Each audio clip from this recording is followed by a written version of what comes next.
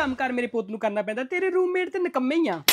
ਵੀਰੇ ਭੁੱਖ ਬੜੀ ਲੱਗੀ ਰੋਟੀ ਪਾ ਦੇ ਛੇਤੀ ਉਹ ਤਾਂ ਭਾਂਡੇ ਖੜਕਣ ਦੀ ਆਵਾਜ਼ ਕਿੱਥੋਂ ਆਉਂਦੀ ਆ? ਓਏ ਅੱਕ ਲੈਣਾ ਜਾ ਗਿਆ ਯਾਰ। ਆਉਂਦੇ ਭਾਂਡੇ ਖੜਕ ਲਾ ਪੈਂਦੇ ਜਦੋਂ ਇਹ ਹੁੰਦਾ ਹੈ। ਇਹ ਮੰਮੀ ਜੀ ਵੇਖੋ ਕਿਸੇ ਦਾ ਭਲਾ ਕਰਾਂਗੇ ਨਾ ਤੇ ਅੱਗੋਂ ਭਲਾ ਹੋਏਗਾ। ਕਦੀ ਵੀ ਕਿਸੇ ਨੂੰ ਇਦਾਂ ਝੂਠ ਨਾ ਖਵਾਓ ਸੁੱਚੀ ਚੀਜ਼ ਖਵਾਉਣੀ ਚਾਹੀਦੀ ਆ। ਤੈਨੂੰ ਦੱਸਣ ਤੇ ਤਈ ਖਰਾਬ ਦਾਲ ਚੌਲ ਖਾ ਕੇ ਆਪਣੀ ਗਲੀ 'ਚ ਕੁੱਤਾ ਬਿਮਾਰ ਹੋ ਗਿਆ। ਮੈਂ ਉਹੀ ਕਹਿਣਾ ਆ ਵੇਖੋ ਜਾਨਵਰਾਂ 'ਚ ਵੀ ਜਾਨ ਆ ਉਹਨਾਂ ਨੂੰ ਆਪਾਂ ਖਰਾਬ ਚੀਜ਼ ਖਵਾਵਾਂਗੇ ਨਾ ਤੇ ਉਹ ਫਿਰ ਵਿਚਾਰੇ ਬਿਮਾਰ ਹੀ ਹੋਣਗੇ। ਪਰ ਸਾਰੀ ਗਲੀ ਹੈਰਾਨ ਹੈ ਪਤਾ ਨਹੀਂ ਕਿੰਨੇ ਖਰਾਬ ਦਾਲ ਚੌਲ ਖਵਾਤੇ ਕੁੱਤੇ ਨੂੰ। ਇੱਕ ਮਿੰਟ ਮੰਮੀ ਉਹ ਸਾਲਿਆ ਇਹ ਤੇ ਪਰਸੋਂ ਦੀ ਰੋਟੀ ਪਈ ਆ ਖਰਾਬ ਹੋ ਗਈ ਆ। ਇਹ ਨਹੀਂ ਖਾਣੀ।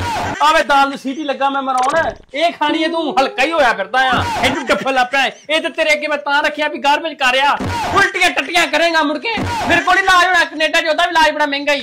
ਵੀ ਪੁੱਤ ਕੀ ਗੱਲ ਹੋ ਗਈ? ਗਰਮ ਬੜਾ ਹੋਇਆ ਫਿਰਦਾ ਹੈ ਉਹ ਮੰਮੀ ਤੂੰ ਹੁਣੇ ਗੱਲ ਸੁਣਾਉਂਦੀ ਨਾ ਕਿ ਪਿੰਡ ਆਪਣੇ ਕਿਸੇ ਨੇ ਖਰਾਬ ਦਾਲ ਚੌਲ ਪਾ ਕੇ ਕੁੱਤਾ ਬਿਮਾਰ ਕਰਤਾ। ਇੱਥੇ ਇੱਕ ਹੋਰ ਕੁੱਤਾ ਬਿਮਾਰ ਹੋ ਜੇ ਲੱਗਾ ਸੀ।